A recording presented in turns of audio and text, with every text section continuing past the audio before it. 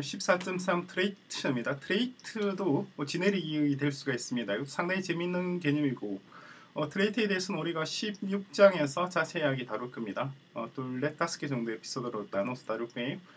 음, 그런데 지금 현재 trait가 나와 있으니까 또 generic 파트에 나와 있으니까 언급은 하고 지나가는 게 나을 것 같아요.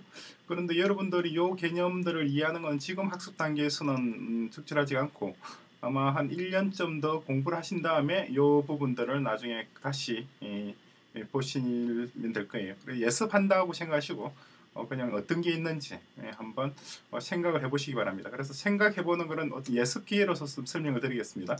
바로 지금 다 이해를 못하셔도 아무 상관이 없어요. 이 개념은 상당히 고급 개념입니다. 그래서 나중에 고급 과정 들어가서 중급 3년 차쯤이나 들어가서 이걸 다루게 될 거예요. 한 2년쯤 뒤에 다룰 내용입니다. 어쨌거나 아, trait generic이 뭐냐 하는 건데 예제가 나와 있으니까 예제를 같이 보겠습니다. 먼저 위에 어, struct에서 empty, struct null 두개 다 concrete 타입입니다. concrete 타입 타입은 넣어줄 거. 그리고 non-copyable이죠 당연히 struct니까 그죠 그리고 트레이 그리고 트레이트 지네릭 오블 t 해서 트레이트는 트레이트인데 이렇게 지네릭이 들어가 있는 trait예요 혹시 trait를 아직까지 공부를 하지 않으신다고 하면은 어 그러면은 차라리 16장부터 먼저 보시고 어 16장에 있는 이 내용을 보고 와서 요 수업을 듣는 것도 괜찮습니다 이 에피소드 그래서 일단은 제가 녹화해 놓을 거예요 지나가는 길이 가니까 그래서 double T 이렇게 generic을 두고 있습니다. 그래서 어, create 펑션을 정의하고 있죠. 그런 다음에 implementation을 이렇게 해놨어요.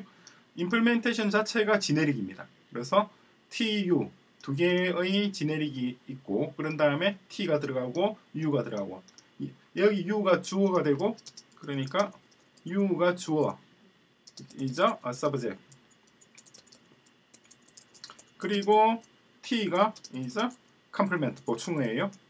영어의 구조에서 공부했던 주어 동사 보충어 문장에서 이게 주어 그리고 동사 double drop 보충어 T 이렇게 됩니다. SVC 문장이죠. 그죠?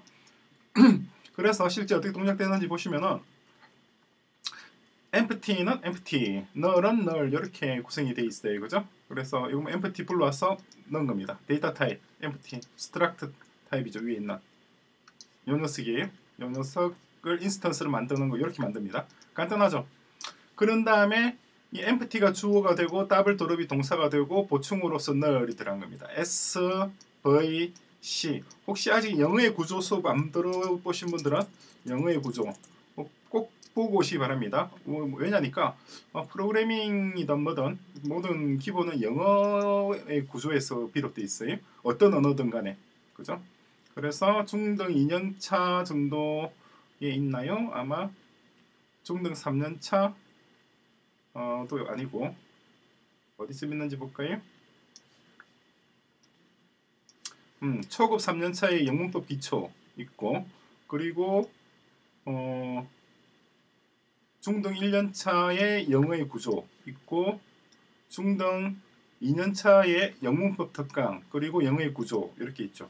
어, 뭐 좋기는 밑에 있는 영수학도 같이 영수 통합 알지브라 일레이에서 영수학도 같이 공부하는 게 좋긴 좋습니다만은 어, 그러기에 시간이 좀 예치 않으면은 어, 초급 3년차의 영어의 기초 그리고 어, 중급 1년차에 있는 영어의 구조 요 두 개만이라도 보고 오시면 됩니다. 하루면 다 볼 수 있어요.